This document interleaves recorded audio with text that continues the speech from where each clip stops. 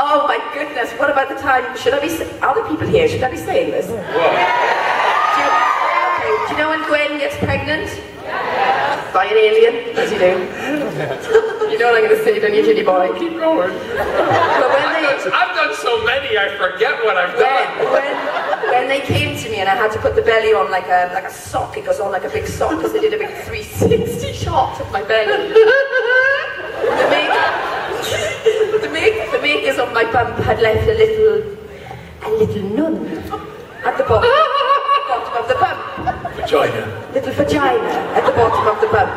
In case for Oh, some it's a reason, medical part. It's a they needed to vagina. Don't go, uh. in case they needed to see my vagina in the scene, which they never would have.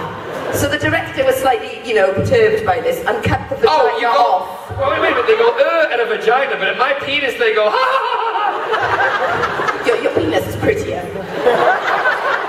Cut off the vagina, and then I go into John's trailer, and he's using it as a soap dish.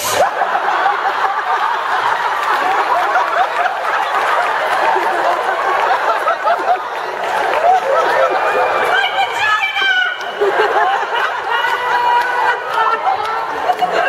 The cleanest hands I've ever had.